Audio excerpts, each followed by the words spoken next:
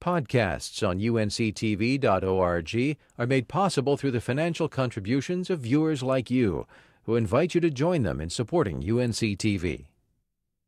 If you watch this show regularly, you know about North Carolina's booming wine industry.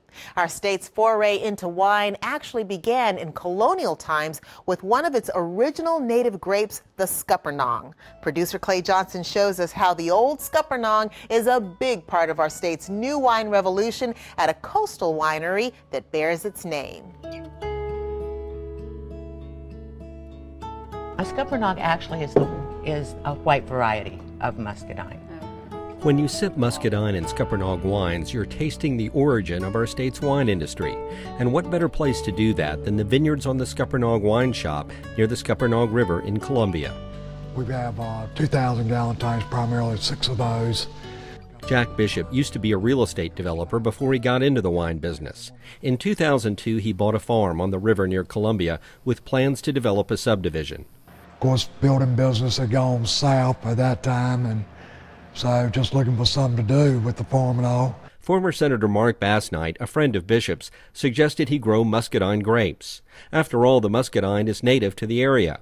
English explorers discovered a variety called the Scuppernong growing along the banks of what is now the Scuppernong River more than 400 years ago.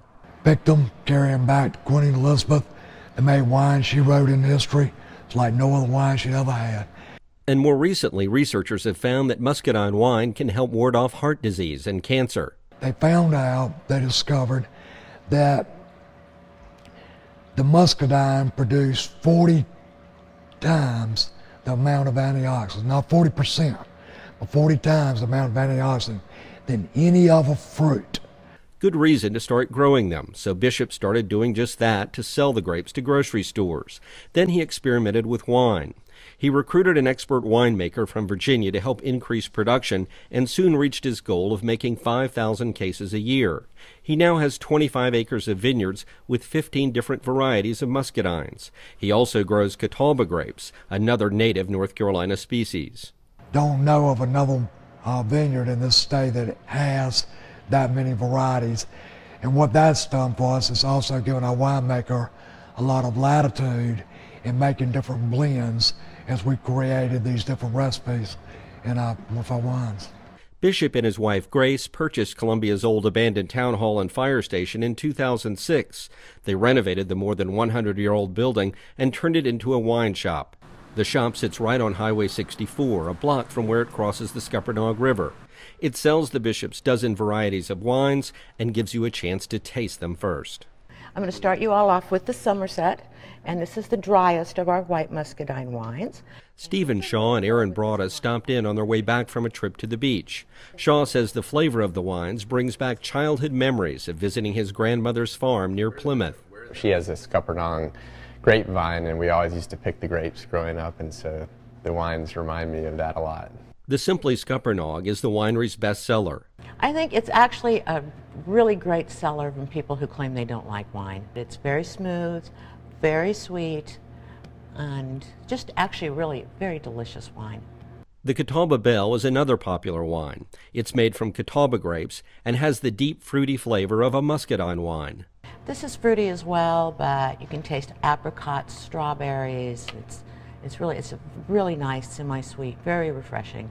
The blackberry wine is also a big seller. Unlike many other blackberry wines, there's no grape juice mixed in. It's made from 100% pure blackberry juice. I've actually had an older gentleman describe it as he said, if you've ever gone out and picked wild blackberries in the woods and you get a whole handful and pop them in your mouth, and you always get that one little tart one.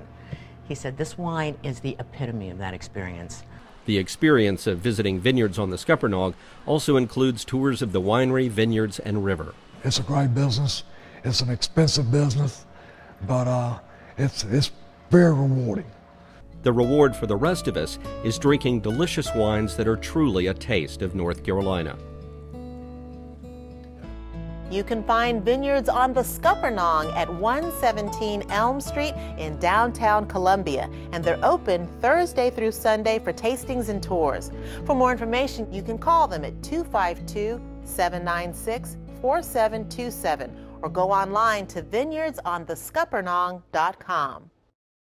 Podcasts on unctv.org are made possible through the financial contributions of viewers like you, who invite you to join them in supporting UNCTV.